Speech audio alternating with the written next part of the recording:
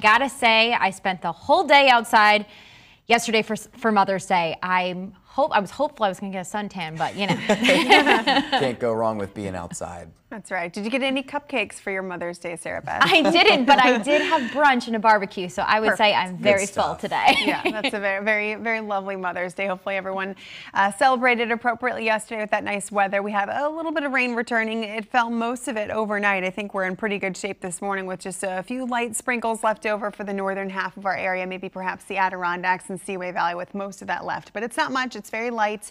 And I think temperatures aren't bad either, so shouldn't be too awful of a start to your work week at 50 in Plattsburgh, 48 degrees in Burlington, 42 Montpelier and Newport, Saranac Lake even at 40 degrees still and 45 in Rutland. Here's the rest of your day here. We're going on back up towards that 60 mark. I don't think it's going to be quite as warm as yesterday. Definitely not quite as much sunshine.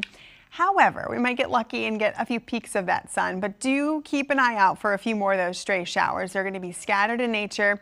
Uh, not anything super heavy or widespread, but something to have in mind through the rest of the afternoon, especially if you have plans to be outside. So yes, a few sunny moments, which will be nice, but do know that a few of these showers show up on and off throughout the rest of the day.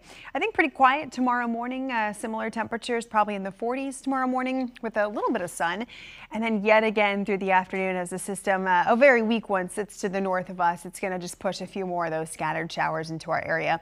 Don't rule out a little isolated thunderstorm with a few of those for the northern half of our area, but for the most part here, it's just some clouds that will uh, produce a few of those showers and some sun in between. Then Wednesday, our rain chances continue to diminish. However, worth mentioning, a few of those stray showers might show up, but I think a little bit more sun in the forecast by then.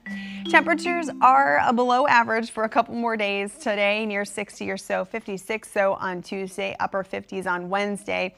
But from there, that back close to, if not even past average, mid and upper 60s expected for Thursday and Friday, and some sunshine for both of those days, which will be great. A few spot showers, worth mentioning a few of those showing up on Friday evening. Similar again on Saturday evening. Might find a couple on Sunday. However, when it comes to our rain chances, really over the next several days, it's not going to be much and it's nothing super substantial. Plus, we'll be flirting with 70 for both Saturday and Sunday, something to look forward to.